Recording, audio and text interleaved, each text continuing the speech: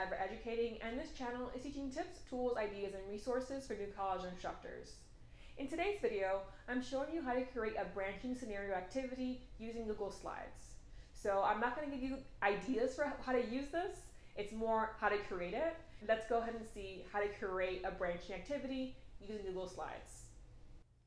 I've gone ahead and created a couple examples just so we're not starting like from scratch because that could take us quite a while but I will make sure to show you the step-by-steps of create, creating a branching scenario. So in this case, I've just opened up a Google Slides document, and as you can see, I have a few slides here. And so, of course, the first slide would be, you know, the, the title or cover of the activity. But how it works is, let's say you have this second slide here, which is the first question.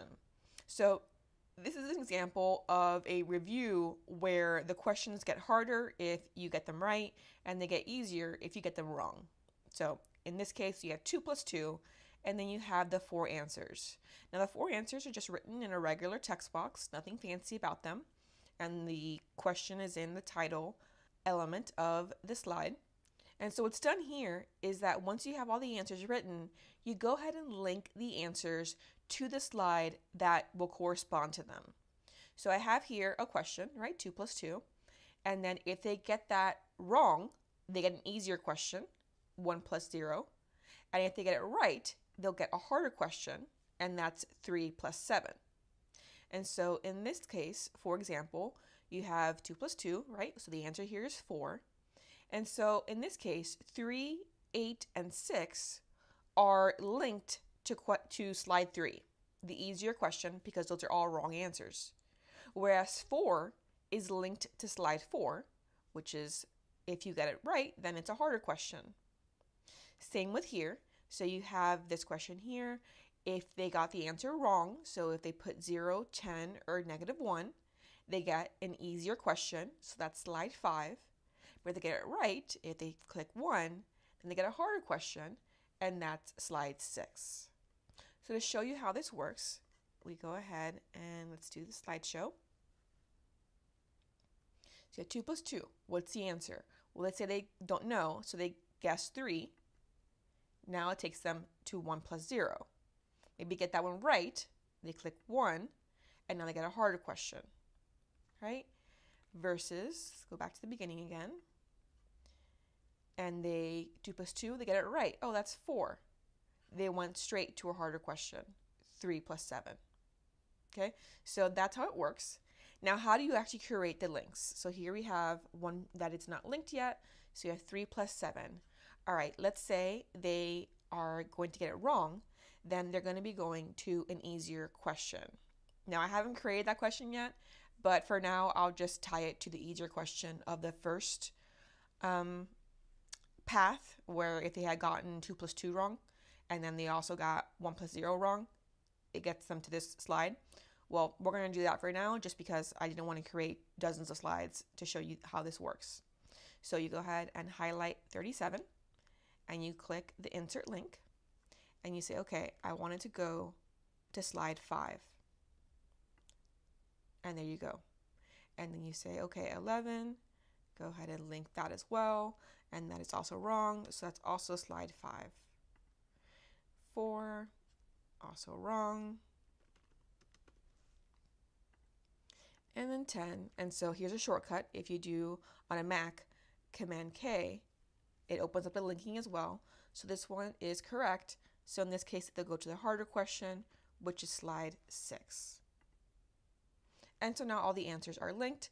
And so when they click it, they'll go to the slide depending on if the answer is right or wrong. So that's how you create a branching scenario. You just go ahead and you want to keep yourself organized, of course. So I recommend when you are drafting this scenario, I do think you should create a little key for yourself. And so, for example, you could have here, and you can go ahead and insert a text box up here that says, you know, it's Q1. Right? But then in this case, you can have okay, so this is if they got the first one wrong, they get an easier question. So then maybe you could have here, this is Q2, but now do some color coding. So for the path of easier questions, right, it's going to be, let's say, yellow. And then if they had gotten 2 plus 2 right, they would have ended up at 3 plus 7. So this is also Q2, but in this case, it's the harder path. Okay, and so you can kind of organize them as you go. Like, okay, so if they got the first one right, it ends up on this slide. So this is Q2. And if they get this one right, they'll end up on this slide. So this is Q3 of the harder path. And then if they get this one right, so like maybe you build all of the harder, harder, harder, harder, harder ones first. And so you could have this little key of like, okay, this is the path of harder. And then you could have the path of easier. So here's the first question, they got that one wrong. Here's question two, if they get it wrong. Get it wrong again, here's question three. So you can kind of have a sense of, okay, if they were to get all the answers right, here's what the path looks like. If they were to get to all the questions wrong, here's what it looks like. And then from there, you can figure out, obviously, you're going to have to, you know, if, if they get the question wrong, where are they going, right? So maybe they got the first two right, but the third one wrong then in that case, now it gets more complicated as far as the numbers of the question goes. But I do think having at least a sense of like the path of all of them right and the path of all of them wrong could be helpful. And you can just kind of pick and choose well, what questions do they go to if they get it right, uh, if they get it wrong, right? So maybe if, you know, they have the first question, they get it right, and so they end up at the second question in this path of harder and harder. But if they get this one wrong, okay, does that mean they go to Q2 of the easier path? Or do they go maybe to Q3 of the easier path, right? Um, so you want to kind of give a sense of how you want to create a sequence when doing this. So potentially you don't need this legend. Maybe that's confusing to you, but I think it could be helpful just to get a sense of like, okay, like this is the path of harder, this is the path of easier. Now, let's do another example. So that one was things getting harder or things getting easier. But maybe you just want to create an activity that's kind of fun for your students to practice concepts. And so in this case, we have a little scenario, a little like choose your own adventure kind of game, but based off of concepts from their course.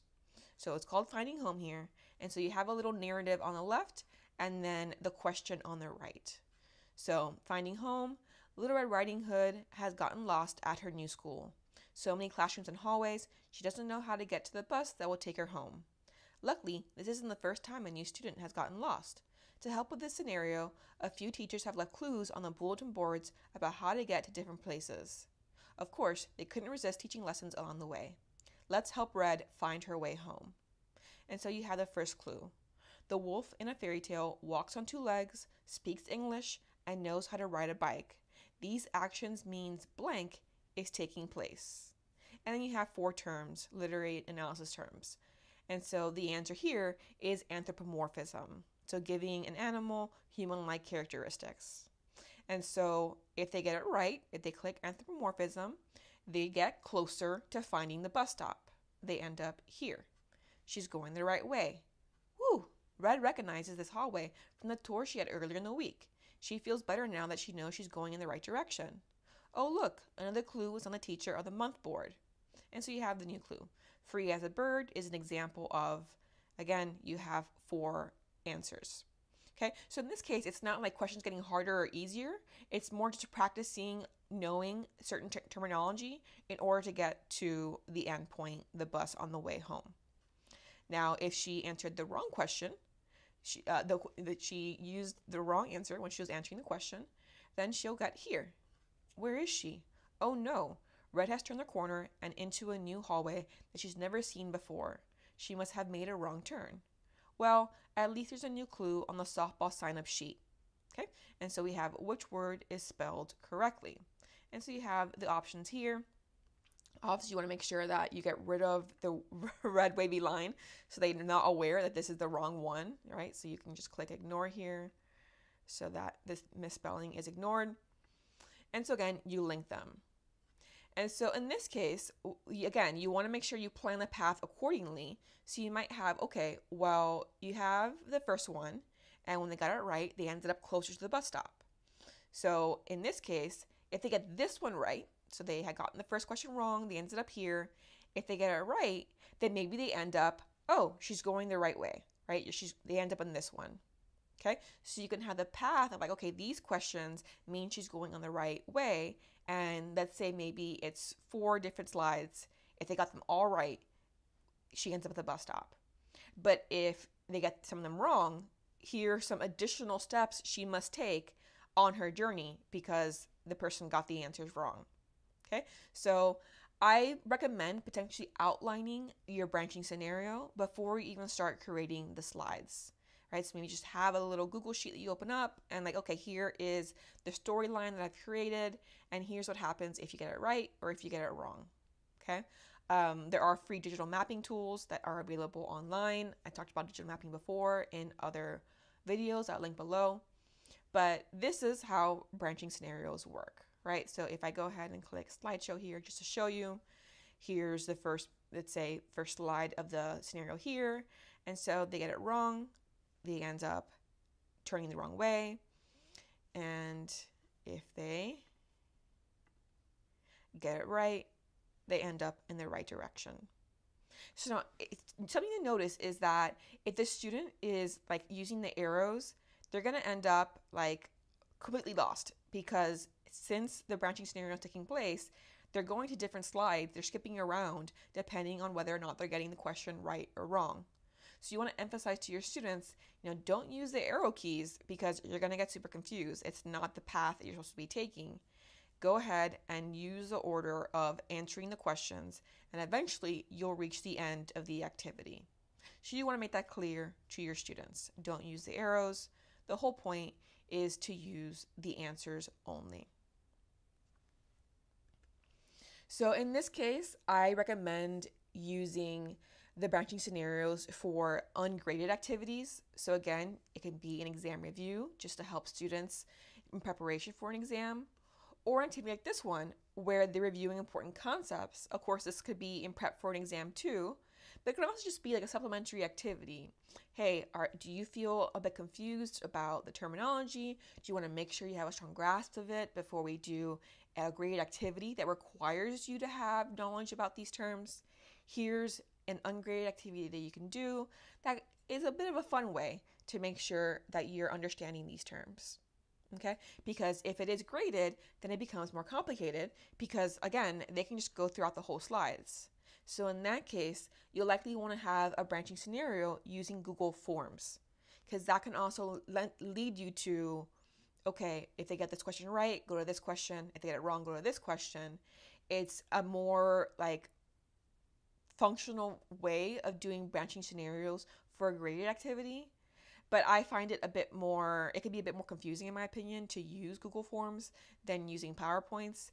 It can also, it doesn't like, I feel like give you as much design um, flexibility as using the slides do because you can add images here really easily. You can have multiple things happening on the screen.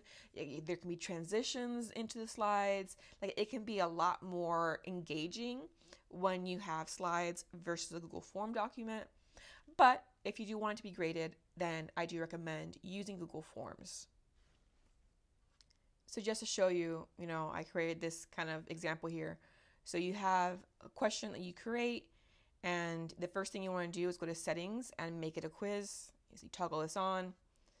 So in that case, you could have an answer key, and you can say what the right question, what the right answer is. So the right answer is four, and they'll get a point if they get that right and they say done. So now you know the four is right. But the problem here is, is you can't say, okay, if they get this question right, go to this question, right? You can't do it that way. What you have to do is create sections. So I created this little icon here. I created two sections, right? So here's question two. If they get the answer right, is what this section is. And here's the question. And here, if they get the question wrong, here's the question they will get. So in that case, you can go to the settings and say go to section based on answer. And you can say, okay, if they go to, if they click three, they go to section three because they got it wrong. And same with two and eight. But if they click four, then they go to the question two right section because they got it right. So it just means like you're creating a lot of sections in order to guide them through the branching scenario, but it is a way to do it graded because it's a quiz, so there's an answer key. So, give and take. I personally feel like using this for non grade activities makes life a lot easier, but it is an option that I wanted to point out if you want to use Google to create a branching scenario. Click like if you enjoyed this video and subscribe if you don't want to miss out on future content. I'll see you next time.